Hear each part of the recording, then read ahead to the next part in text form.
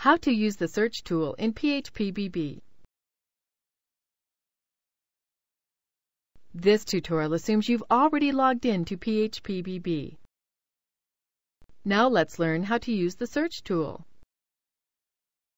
We can search for a keyword here, or we can choose more options in an advanced search.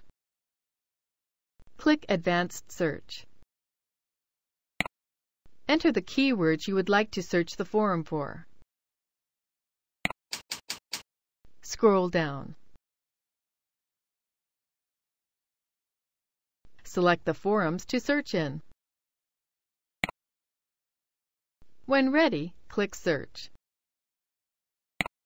That's it! The search results are displayed here, and you can click on any post to be taken to its thread.